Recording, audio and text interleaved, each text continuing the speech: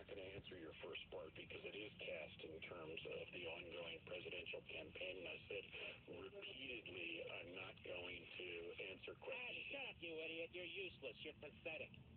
As you slash and burn the United States military rather than standing up for it. It's nothing to do with the context of the presidential election. Simple question, is it classified or not? Now let me help out the reporter. Yes, it obviously is. Because his answer otherwise would have been, of course not, she's wrong. She's wrong. So I want America to know. The former Secretary of State, who lies like a dog, a nasty woman, who who used her position to violate the Espionage Act, to obstruct justice, to undermine Congress, to undermine the FBI and the Justice Department, who clearly gave secrets to the enemy because she told us over and over again during that debate that Putin has been hacking all over the place. But of course he wouldn't hack her unsecured server now, would he? Of course he would.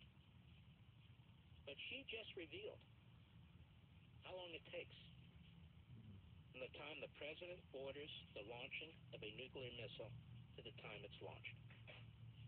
And I can assure you, our enemies Russia, our enemies in China, are all meeting trying to formulate potential responses to this.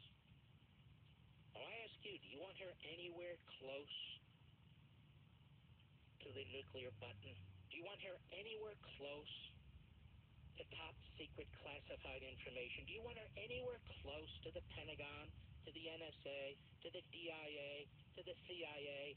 Is this woman, this nasty woman, is she capable of being commander in chief?